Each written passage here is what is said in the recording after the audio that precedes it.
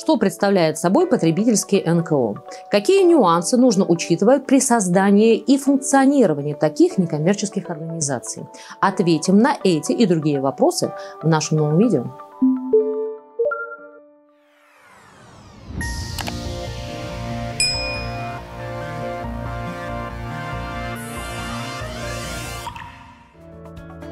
Деятельность потребительских обществ базируется на трех китах закон о некоммерческих организациях, закон о потребительской кооперации, потребительских обществах, их союзах и Гражданский кодекс. Потребительское общество представляет собой объединение физических и юридических лиц на добровольной основе для удовлетворения определенных потребностей его членов. Создается такое общество его членами на основе территориальной принадлежности в рамках какой-либо деятельности. Это может быть производственная, торговая, посредническая или иная деятельность. Потребительские общества относят к потребительской кооперации. Это означает, что потребительский кооператив может быть создан в форме потребительского общества. Спектр создания потребительских обществ разнообразен. От торговли сельскохозяйственной продукции до производства хлеба и мучных изделий, тортов и пирожных. Являясь НКО, деятельность потребительского общества не подразумевает основной целью зарабатывания денег, а прежде всего направлена на удовлетворение потребностей своих членов-пайщиков. Они вносят паевые взносы, которые могут быть внесены деньгами, ценными бумагами, земельным участком, либо другим имуществом или имущественным правом. При вступлении в потребительское общество нужно также заплатить и вступительный взнос. Он вносится единовременно деньгами – Средства вступительного взноса расходуются на покрытие расходов, связанных со вступлением в потребительское общество. Регистрация некоммерческой организации – процесс затяжной во времени и занимает около месяца.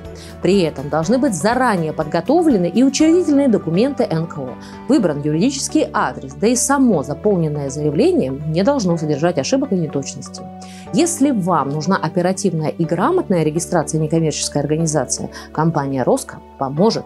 Наши эксперты имеют соответствующие знания и опыт взаимодействия с государственными инстанциями, следят за всеми изменениями в законодательстве. Мы подберем оптимальную форму НКО и режим налогообложения, подготовим и подадим пакет документов. Занимайтесь своими делами, всю бюрократию Роско возьмет на себя.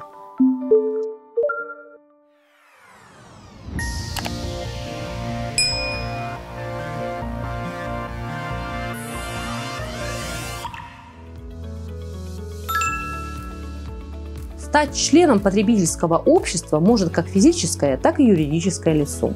Для этого нужно внести вступительные и паевые взносы. Отметим, что иностранцам также открыт путь для вступления в потребительское общество. Порядок и сроки внесения взносов определяются уставом. Для того, чтобы стать членом общества, необходимо написать заявление о приеме. В заявлении указываются персональные данные потенциального пайщика. Для физических лиц – ФИО, дата рождения и место жительства. Если гражданин не имеет своего заработка, а живет на государственные пособия, стипендию, пенсию, об этом указывается в заявлении. Для юридических лиц название компании согласно регистрационным документам УГРН, ИНН, банковский реквизит. Максимальный срок для принятия в ряды пайщиков не больше 30 дней. Этот срок может быть сокращен, если уставом потребительского общества прописаны иные сроки. При положительном рассмотрении заявления членам выдается документ, который удостоверяет их принадлежность к потребительскому обществу. Например, это различного рода удостоверения, либо книжки, в которых вписывается ФИО, либо название компании, пайщиков общества. Минимальное число учредителей не менее пяти физических лиц и не менее трех юридических лиц. Потребительское общество может быть создано только физическими лицами, причем возраст учредителей может быть 16 лет и старше, либо только юридическими лицами. Учредительным документом потребительского общества является только устав. К нему предъявляются общие требования, а сам устав утверждается на собрании членами потребительского общества. Для разработки устава правильнее всего будет обратиться за помощью к юристу. Пайщики могут добровольно вступать и выходить из общества, пользоваться всеми льготами, которые действуют для членов общества.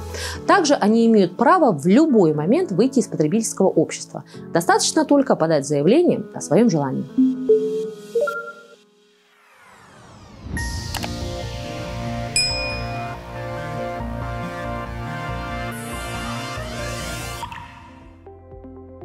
Помимо добровольного выхода, пайщика могут исключить из общества в связи с грубыми нарушениями устава, либо в случае ликвидации. При выходе пайщику оплачивается паевый взнос, а уплаченный вступительный взнос не возвращается. При ведении бухгалтерского и налогового учета нужно учитывать особенности, связанные с правовым статусом НКО. В части бухгалтерской отчетности потребительские общества должны сдать бухгалтерский баланс, отчет о целевом использовании средств и приложение к ним. Поскольку работа потребительских обществ не ставит перед собой основной задачи получения прибыли, то государством предоставляются налоговые льготы. Особенностью учета потребительских обществ является необходимость учитывать средства пайщиков и формирование паевого фонда, обеспечить раздельный учет доходов от предпринимательской деятельности. Если у вас остались вопросы после просмотра этого видео, смело пишите в комментариях к нему, и юристы компании «Роско» с удовольствием на них ответят. И, конечно, подписывайтесь на наш канал, где вы найдете массу полезной информации, не только для бизнеса, но и для себя лично. Будь в курсе, будь с «Роско».